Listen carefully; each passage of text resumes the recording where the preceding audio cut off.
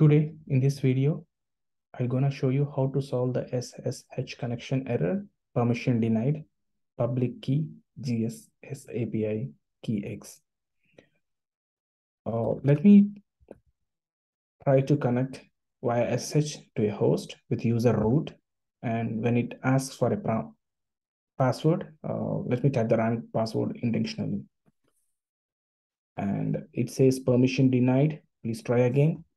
Let me do two more times with the same wrong password. And finally, you will get an error saying that permission denied, public key GSS API key X. So in order to solve this error, we may need to enter the correct password. In my case, I'm entering the correct password now. So it logged into the machine.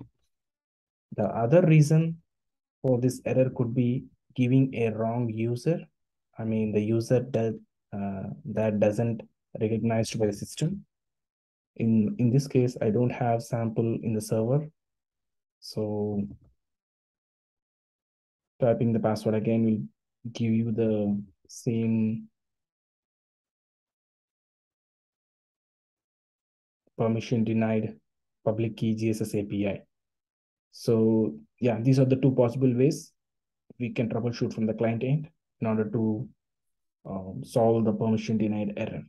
There are other uh, troubleshooting methods that are related to the server side.